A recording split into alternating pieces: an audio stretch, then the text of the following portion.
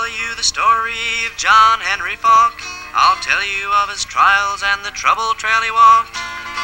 And I'll tell you of the tyrants, the ones you never see. Murder is the role they play, and hatred is their fee. On the TV and the radio, John Henry Faulk was known. He talked to many thousands with a mind that was his own. But he could not close his eyes when the list were passed around, so he tried to move the Union to tear the blacklist down.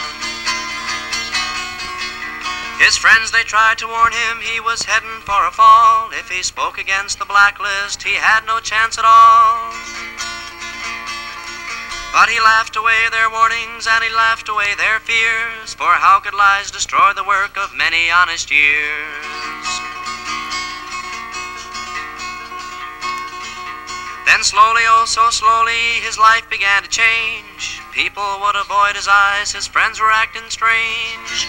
And he finally saw the power of the hidden poison pen when they told him that his job was through, he'd never work again.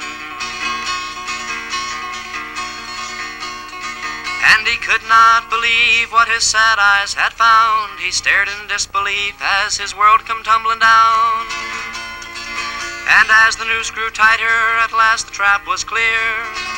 For every place he turned to go, that list would soon be there, oh, that list. And is there any bottom to the fears that grow inside? Is there any bottom to the hate that you must hide? And is there any end to your long road of despair? Is there any end to the pain that you must bear? His wife and children trembled, the time was running short, when a man of law got on their side and took them into court. And there upon the stand they could not hide behind their lies, and the cancer of the fascist was displayed before our eyes. Hey, you blacklist, you blacklist, I've seen what you have done. I've seen the men you've ruined and the lives you tried to run. But the one thing that I've found is the only ones you spare are those that do not have a brain or those that do not care. And you men who point your fingers and spread your lies around, you men that left your souls behind to drag us to the ground.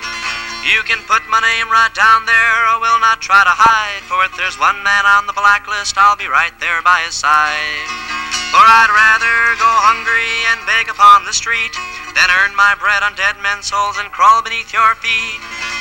And I will not play your haters' game and hate you in return, for it's only through the love of man the blacklist can be burned. For it's only through the love of man the blacklist can be burned.